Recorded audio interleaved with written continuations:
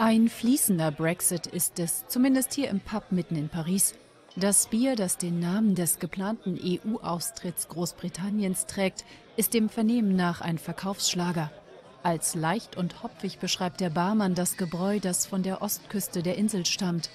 Mit einem knappen Drittel britischer Kundschaft stößt die Kreation allerdings nicht nur auf Begeisterung. Als ich diesen Namen sah, ich versuche alles zu vermeiden, was mit dem Brexit zu tun hat. Für mich ist er eine Katastrophe.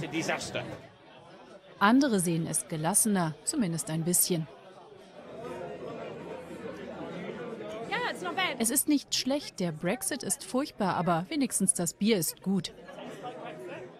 Das wurde laut dem Barmann ursprünglich im proeuropäischen Schottland gebraut. Sein geschmacklich eher bitterer Abgang könne als Kommentar auf das Referendum interpretiert werden.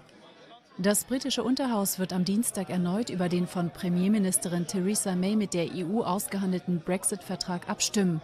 Aufgrund fehlender Änderungen an dem Vertragswerk wird eine erneute Niederlage Mays erwartet. Die Gespräche zwischen der EU und Großbritannien stecken derzeit in der Sackgasse. Na dann, Happy Brexit.